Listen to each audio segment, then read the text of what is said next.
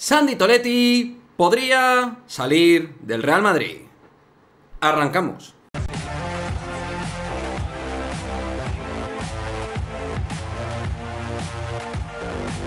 Si queréis comprar las mejores camisetas del mercado, las mejores réplicas oficiales, las tenéis aquí con Fútbol Lufo. Y aparte os voy a dejar en tanto la caja de descripción como en el cajón de comentarios el grupo de Telegram donde vais a poder acceder a sorteos. Todo ello cortesía de Fútbol Lufo.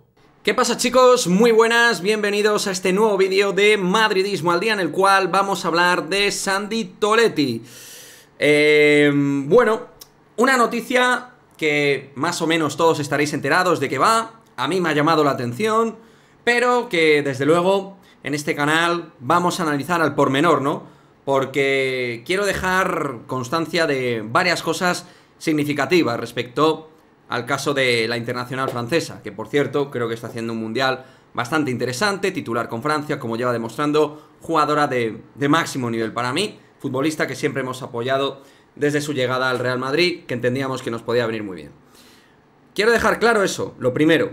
Eh, Sandy Toletti me parece una futbolista primordial en el esquema táctico de Alberto Toril.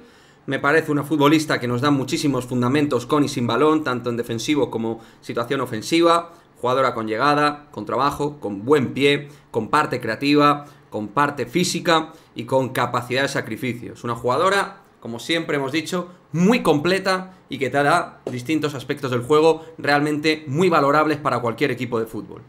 A partir de ahí, eh, lo que hay que dejar claro, y esto lo hago con Toretti y lo he hecho con el fútbol masculino, con el baloncesto y el femenino, no hay ningún jugador que esté por encima del club.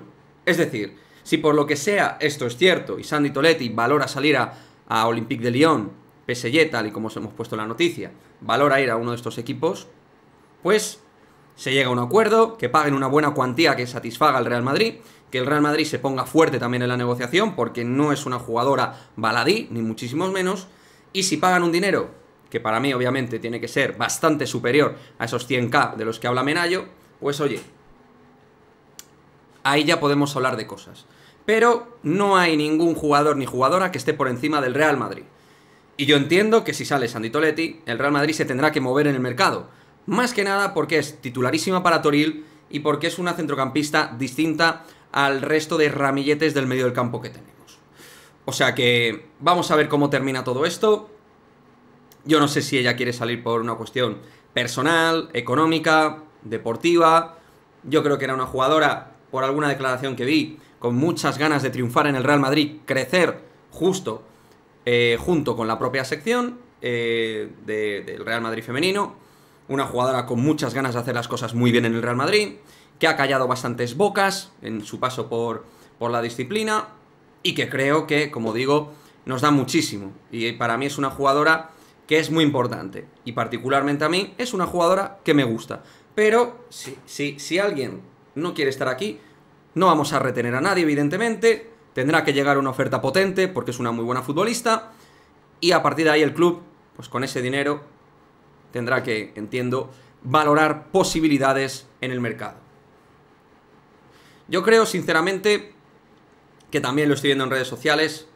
A ver, culpar a la directiva si se va Sandy Toletti me parece equivocar la diana.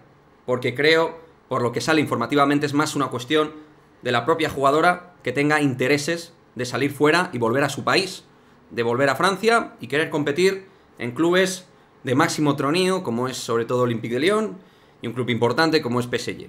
Si se quiere ir por dinero o porque eh, hay alguna cuestión personal y tal, pues yo creo que ahí el club lo que tiene que hacer en tal caso es sentarse y recibir un dinero que corresponda al valor real de Sandy Toletti. Ya sabéis, termina en 2024. Yo creo que hay que trabajar para sacar el máximo dinero posible si se va Sandy Toletti. Ojalá no se vaya, porque, como digo, es una jugadora que me gusta, pero habrá que ver la situación. Y vamos a ver si la información es real o no, que puede ser porque jugadoras del Real Madrid han recibido ofertas en estos meses seguro, y vamos a ver si esto también es así. Lo iremos viendo en el canal, la verdad es que nos hemos quedado un poquito descolocados con esta info, y vamos a ver qué ocurre con el futuro inmediato de una de las jugadores, jugadoras, perdón, capitales para Alberto Toril y para el Real Madrid. Para mí una de las jugadoras, como digo, más importante del equipo por eh, su capacidad de hacer tantas cosas sobre el terreno de juego y que da tanta solidez en tantos aspectos al equipo que me parece de, gran valor eh, la exjugadora del Levante y Montpellier. Dejadme vuestra opinión, vuestro comentario. ¿Qué pensáis de Sandy Toletti? Mm, ¿Entendéis que es una jugadora importante pero no tanto? ¿Consideráis que es muy importante? ¿Cómo veis que en teoría se quiera ir o valore irse del Real Madrid? En fin, más que nunca me gustaría vuestra opinión al respecto y nos vemos en el próximo vídeo. Chao, chao.